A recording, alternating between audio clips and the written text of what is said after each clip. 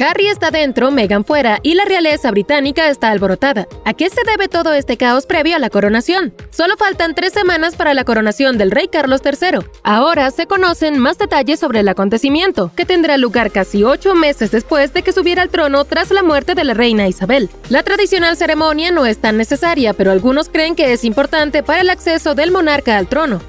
It's filled with national identity, um, symbolism, propaganda. It's rooted in our history. El drama se ha desatado en el Palacio de Buckingham mientras Carlos y la firma se preparan para la celebración del 6 de mayo. Con la tensión entre el príncipe Harry, Meghan Markle, duques de Sussex y el resto de la prole real, el caos que rodea la coronación de Carlos tiene muchos señalando a la pareja distanciada. Aunque Harry estuvo en contacto con su padre durante el proceso de planificación, el hecho de que esté o no parece pesar sobre el equipo. Según informes obtenidos por The New York Post, las últimas semanas fueron muy intranquilas. La familia real estuvo muy ocupada ensayando para la coronación, pero las cosas no están saliendo exactamente como planearon. Los ensayos durante demasiado y se ponen en peligro todo el día. Un miembro de la realeza dijo, es todo muy frenético, un completo caos para ser franco. Hay un plan que se supone que es el modelo de cómo debe funcionar el día, pero las cosas están cambiando todos los días, lo que está causando muchos problemas. La fuente añadió que mientras más se acerca el evento, el estrés afecta a los que trabajan detrás. Según otra fuente, naturalmente se trata de un gran acontecimiento y lo importante es que todo el mundo está trabajando en la dirección correcta. Los reyes quieren que sea perfecto al igual que todos los implicados, y por eso se hace todo lo posible para que así sea. También se cree que muchos de estos retrasos fueron causados por el príncipe Harry y Meghan Markle, porque esperaron hasta el último minuto para responder a su invitación. Por un tiempo, la cuestión de si el príncipe Harry y Meghan Markle asistirían o no a la coronación del rey Carlos III era incierta, lo que provocó algunos retrasos en la planificación del evento. Según el editor real de Daily Mirror, Russell Myers, los organizadores sentían la presión mientras esperaban la decisión del duque y la duquesa de Sussex Dijo, pensemos en los organizadores, ellos son los que tienen que hacer la planificación y todo se retrasa por culpa de Harry y Meghan. Ya conocemos el plan de Harry y Meghan por la coronación. Harry estará en el gran evento, pero Meghan y sus dos hijos estarán ausentes. La pareja real hizo una declaración oficial que decía, el duque de Sussex